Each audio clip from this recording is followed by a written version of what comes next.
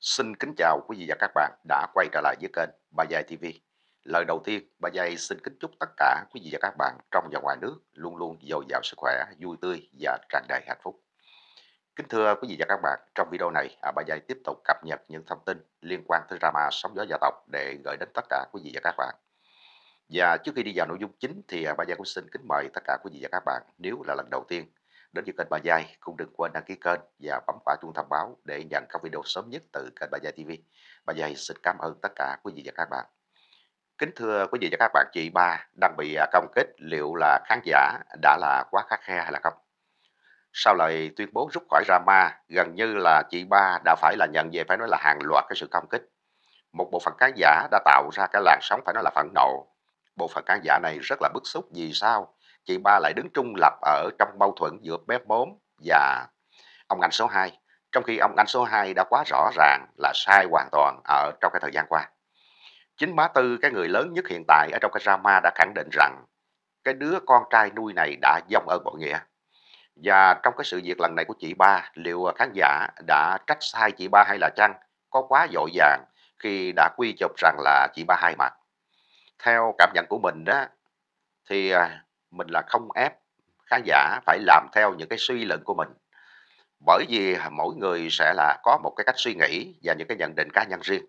Nhưng mà mình hy vọng đó, những cái người khán giả ấy cũng như quý vị và các bạn ở trên kênh ba giây nếu mà ai vẫn còn là lăn tăng về cái vấn đề của chị ba đó, thì hãy cùng với ba giây đi tìm hiểu ngay sau đây. Rồi à, chúng ta hẳn đưa ra cái nhận định sau cùng về à, chị ba nghe quý vị và các bạn. Kính thưa quý vị và các bạn, à, trong cái đoạn trải lòng ở trên livestream của chị Ba thì chúng ta cảm nhận một điều là chị Ba đang dằn xé ở trong lòng rất là nhiều. Trên thì có ông anh số 2 cũng là một cái người đàn anh ở trong nghề. Dưới thì có em út tức là bé mốm, con gái ruột của người cha nuôi vĩ đại của mình. Chị Ba ở giữa cửa giữa không biết là bỏ bên nào bởi vì à, làm sao mà bỏ được quý vị. Qua cái cách nói chuyện của chị Ba thì mình cảm nhận được rằng là chị Ba xem cái người ông anh số 2 ấy và út bé mốm là những cái người thân ruột thịt ở trong gia đình của mình. Thật sự là chị ba đang là cực kỳ khó xử. Và tin chắc rằng nếu như mà chúng ta rơi vào cái tình huống ấy đó thì chúng ta cũng sẽ là rơi vào cái tình trạng là tiến thoái lưỡng nan như vậy mà thôi quý vị. Có ý kiến cho rằng là chị ba nói chính xác, dù gì cũng là anh em, hoàn nạn có nhau. Dù đúng dù sai thì anh em vẫn có thể là ngồi lại nói chuyện khi mà cơn giận qua đi còn à, Hồng Ni rất là tốt, rất là tuyệt vời. Cho nên là mong cái ông anh số 2 hãy tin tưởng thêm vào Hồng Ni. Đừng vì tác động lời ra tiếng vào mà anh em bất hòa. Đã là ông anh số 2 thì hãy bao dung, nhìn xa trong rộng, thấu tình đạt lý. Không vì cái sự suy nghĩ nông cạn mà anh em buồn lòng. Chúc cho anh em luôn yêu thương, hòa thuận, bền vững. Kính thưa quý vị và các bạn, bình luận vừa rồi đó là một cái đại diện cho những cái bình luận làm giảm nhiệt à, cho mâu thuẫn này cứ là chuyện lớn quá nhỏ rồi à, chuyện nhỏ mình quá không. Để còn là tập trung lo cái chuyện sao kê đối với à, bé già nữa. Bên cạnh cái kiểu bình luận giảm nhiệt như thế này đó thì vẫn còn rất nhiều những cái khán giả đang bức xúc với à, cây ông ngạch số 2 này. Cho nên khi chị ba đã quyết định đứng cửa giữa không bỏ rơi bé mốm cũng như là không bỏ rơi ông anh số 2 của mình thì à, đã có nhiều luồng ý kiến trái chiều nổ ra. Một à, nhóm người thì nói rằng là chị ba hai mặt một nhóm thì à, nói rằng là chị ba sợ là cái bà hoa hậu à, à, sợ đòi lại cái số tiền mà Phương Răng à, đã cho chị ba. Kính thưa quý vị, với hai ý kiến vừa rồi cái việc nói là chị ba hai mặt là đang quá dội dàng.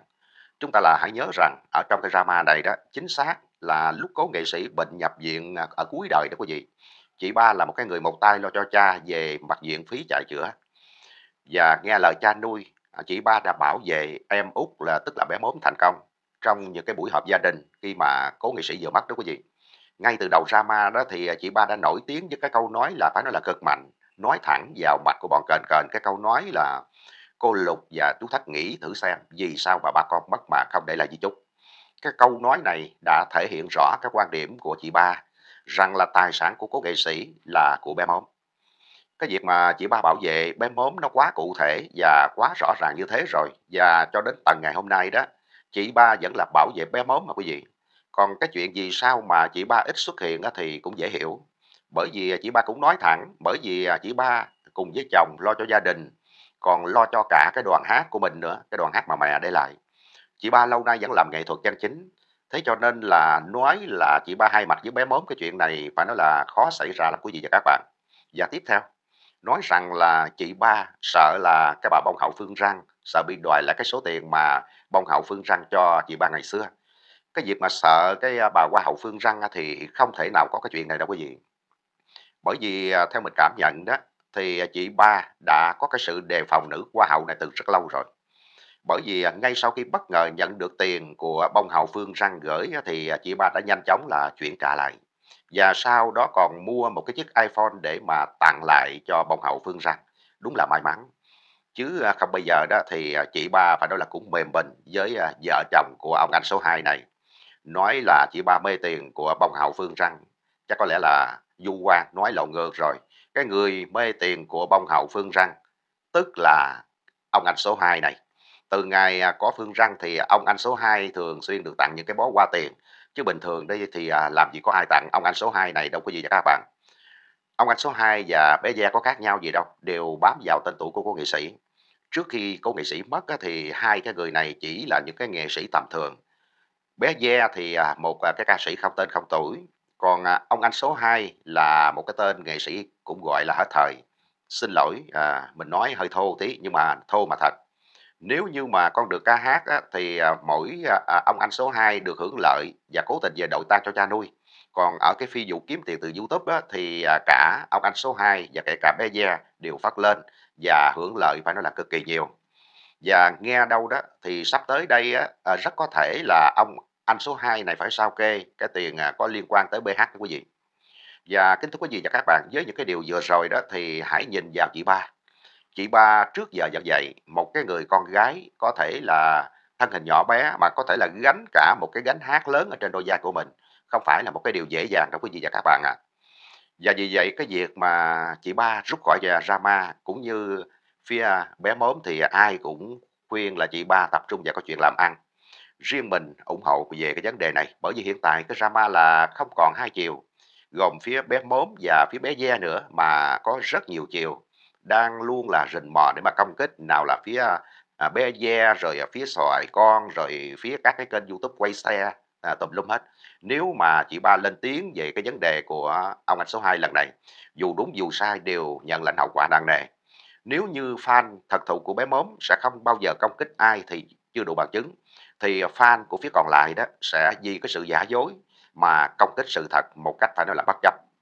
Cho nên chị ba mà lên tiếng một cái thôi quý vị thì chắc chắn chuyến này đó sẽ là khó sống nhất là cái hành vi hack Facebook của bọn nó.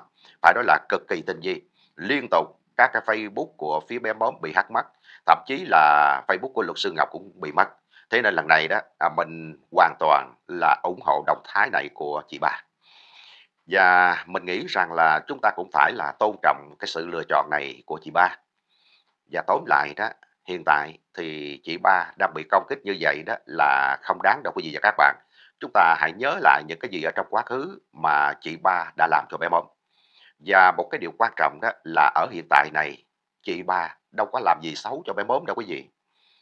Hãy nhớ lại các cái chi tiết sau đây. Thứ nhất đó, chị ba là cái người đã chi trả rất là nhiều tiền viện phí cho cố nghệ sĩ. Thứ hai, chị ba không ngại chi tiền chục triệu để mà làm bàn thờ cho cố nghệ sĩ trong cái khoảng thời gian mà bé mớm chưa vững về tài chính. Thứ ba là chị ba chính là cái người đã mạnh dạn đứng lên lên tiếng để mà bảo vệ bé mớm trước mặt các cái tai to mặt lớn cũng như là lục thất, sạc pháp và bé ve trong một cái phiên họp gia đình. Đây là ba cái điều phải nói là vô cùng vô giá mà cái người chị ba này đã dành cho bé mớm người em út của mình cũng như là cái sự đền đáp công lao của người con gái nuôi dành cho cha nuôi của mình. Chị ba rời khỏi Rama cũng là một phần do phía bé móng yêu cầu. Mọi người không muốn chị ba gặp khó. Quý vị à, nếu như mà cái việc à, bé móm phải gánh vác trên vai của mình năm người con, thì chị ba lại phải gánh vác trên vai của mình cả một cái đoàn hát to lớn mang tên là Quỳnh Long. Rất rất nhiều nghệ sĩ đang lợi thuộc vào kinh tế, vào tay của chị ba. Cho nên cái việc là chị ba rời khỏi Rama này là một cái điều là không hề sai chúng ta không thể nào mà chọn tất cả được đâu quý vị và các bạn đôi khi chúng ta phải chấp nhận buông bỏ một số thứ để là chúng ta nắm giữ những cái thứ cần thiết hơn và quan trọng hơn hiện tại bé mốm đã có hồng ni có má tư có rất rất nhiều anh em ở trong hội vì yêu thương mà đến bảo vệ rồi. Cho nên cái việc là chị ba rút khỏi drama đó là hoàn toàn không ảnh hưởng gì nhiều đối với bé móm cả. Với lại một cái điều quan trọng nữa đó là hai chị em, chị ba và bé mớm vẫn yêu thương nhau mà, đâu có xích mích gì đâu, đúng không quý vị? Và hy vọng rằng quý vị và các bạn đừng dội công kích chị ba nghe quý vị và các bạn, phải nói là quan cho chị ba lắm. Và kính thưa quý vị và các bạn, và bà Giai xin khép video này là tại đây. Rất cảm ơn quý vị và các bạn đã nghe hết video này. À, bà Giai xin chào và hẹn gặp lại quý vị và các bạn trong các video tiếp theo.